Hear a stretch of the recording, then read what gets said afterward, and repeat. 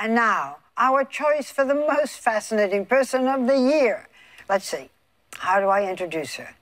I guess the question is, what does it take to fascinate one of the most fascinating men in the world? She is known primarily through her spouse, and while we know little about her, we know a great deal about him. And he has fascinated many women, especially me. Amal Alamuddin, known now as Amal Clooney, is suddenly in that stratosphere that we reserve for the Jackie O's or the Princess Di's and Kate Middletons. That is, everything she does, says, or wears is officially fascinating. This is Amal Alamuddin, George Clooney's beautiful bride. You could say hers was the wedding of the year. But let's put it into perspective. It was really one of the greatest achievements in human history.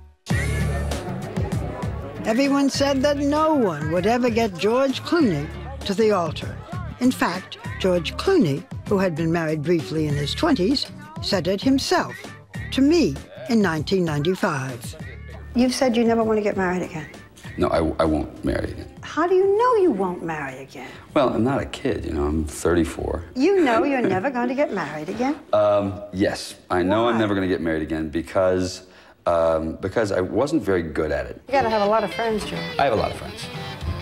That interview became one of George's main weapons in his battle to stay a bachelor. I talked to him again in 2006. I want to ask you something that I'm curious about. When you go with a woman, and, and do you say up front, you know, I'm not going to get married, or, or, do, do, or does each one think I'm the one, maybe? No, you know what's funny is because of you, I don't have to, you see. it's out there. Like climbers attempting Mount Everest, a bevy of beautiful women threw themselves at the unattainable and failed. There was Kimberly Russell, an actress, Celine Balitran, a waitress, Lisa Snowdon, a model, Sarah Larson, a cocktail waitress, Elisabetta Canalis, a TV personality, and Stacy Keibler, a former cheerleader and professional wrestler. Amal is a little different. Like Clooney, she is passionately committed to human rights causes. Like Clooney, who has a father who is a journalist, she has a mother who's a journalist. And like Clooney, she is a star in her own world. Born into a prominent Lebanese family, she grew up in a London suburb, went to Oxford, got her law degree at NYU, and clerked for then federal judge Sonia Sotomayor. She returned to London and became a very well-known attorney who defended freedom of speech and women's rights while looking gorgeous.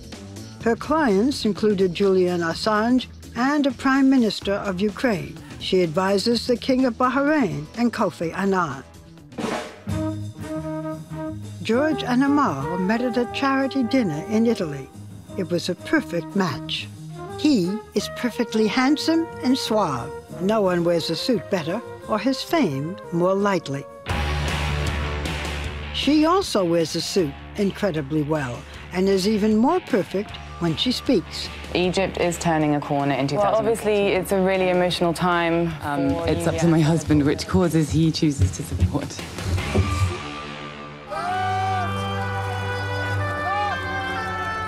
Their wedding, of course, was also perfect. From the transportation to the post-wedding brunch outfit, to the wedding dress made by the late, great Oscar de la Renta, to her custom-made hat. Amazingly, Amal has been the subject of very little snark or envy. Maybe because we, like George Clooney, find it impossible to resist perfection. Or maybe because it is heartening to think that no matter how long it may take, the perfect someone is out there for everyone.